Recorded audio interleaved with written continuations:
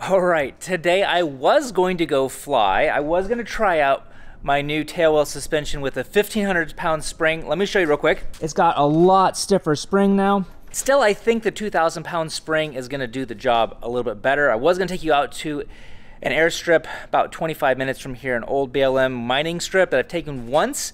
I was going to do some walking around, things like that. But my com radio just died on me today. But before we get to that, let me show you what else I'm gonna be doing changing wise down here. All right, so I checked this with the design. I had a piece of paper. It is bent just a tiny bit right here. It was already bent, I mean, I already had it bent in the design just because it looked a little bit nicer. So I am going to redesign this for one, to make it a little bit shorter. I'm gonna put some pre-sag into it so that my pivot angle is correct because I designed it to have no angle whatsoever, no sag at all and that's what's causing it really hard to turn. So if I can do that, it will bring it back up to the, the ride height that I want it to be, which is around 19 to 19 and a half inches off the ground right here. So I'm gonna redesign that with a 7075 aluminum instead of the 6061. It's gonna be stronger. I was originally gonna do that, but was kind of talked out of it. I'm also gonna redesign this front mount up here to not have it cut out just to make it a little bit stronger up there. So overall, all I have to do is basically change this bar out and change that out. But, like I said, my com radio screen went out on me. On my last flight that I took, um, when I tried this out the first time, the screen was kind of like slowly fading out, and then when I just reset it, it would come right back on and it was working. I took my folks out, on a couple flights when they were here this last week and it worked just fine then. And then this morning it's all like scrambled. Let me, let me show you real quick.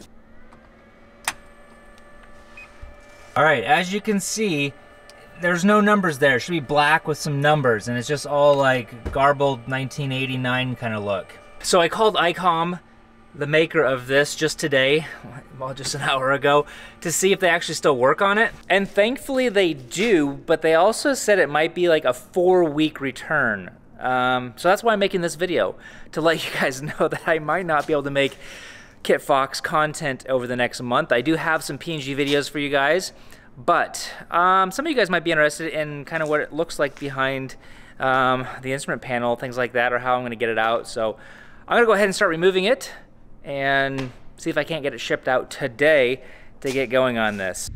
The nice thing about this is just two screws. There is another one that I can put right in there, but I didn't just because I've been working on it a lot and didn't want to have to put it in all the time.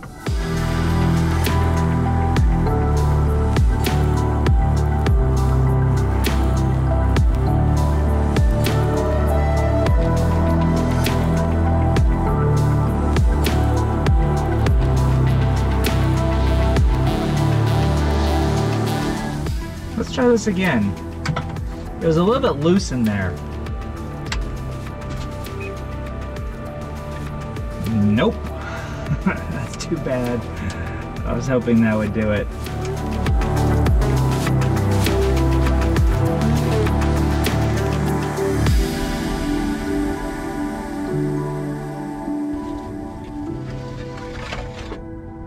I saw two little pieces of aluminum shavings, probably from me, honestly, when I was drilling these.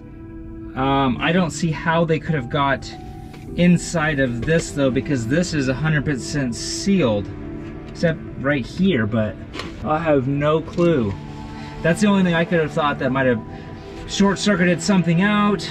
I don't see any burn marks anywhere or anything like that, so let me shove it back in there. One last try for good measure before I send this thing out for a month potentially. Make sure all that looks good. Connections back here look really nice.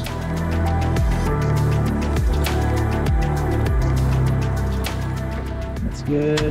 Try it one more time.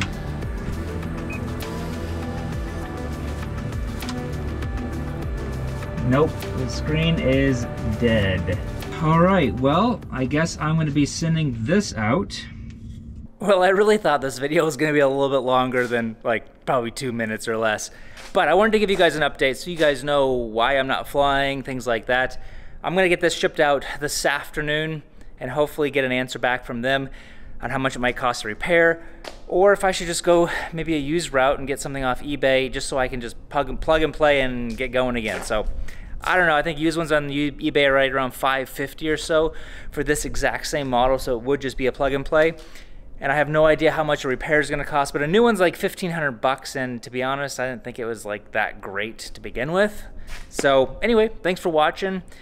Stay tuned for the next few videos. Videos, they will be some PNG videos. I've got a lot of them that I haven't even shared with you guys, so still a lot more fun adventures over there. So thanks guys, see you next time.